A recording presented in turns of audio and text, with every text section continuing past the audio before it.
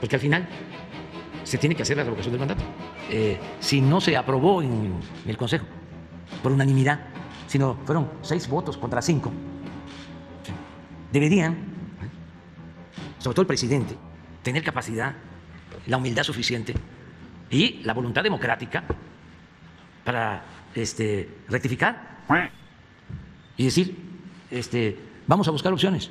Puede haber un interés personal o de grupo, por legítimo que sea, por encima de un interés superior, por encima de la democracia, por encima del pueblo, por encima de la Constitución. No puede haber nada. Ojalá rectifiquen. Y sobre lo material, los recursos, convocar a las autoridades, convocar a los ciudadanos, ayuden todos. Vamos a hacerlo. Nada más disponemos de estos recursos. Y necesitamos instalar tantas casillas. ¿Cómo nos va a ayudar el gobierno de la Ciudad de México? ¿Cómo nos va a ayudar el gobierno del Estado de México?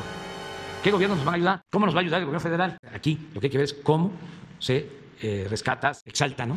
Lo básico, que es el que la gente pueda expresarse. Y acerca de que si nosotros podríamos hacer, claro que sí. Pero lo más conveniente es que haya un acto de rectificación de el mismo INE, que no tienen razón. Eh, ¿Para qué esperar que el Tribunal Electoral o que la Suprema Corte este, le enmienden o le corrijan la plana?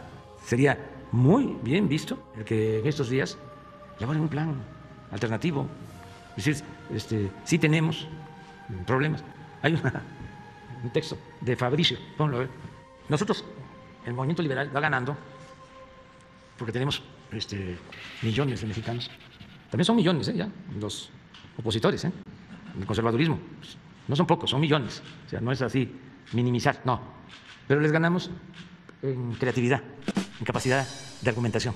Porque hasta los intelectuales conservadores se han apagado. Ya no tienen imaginación, ingenio, talento.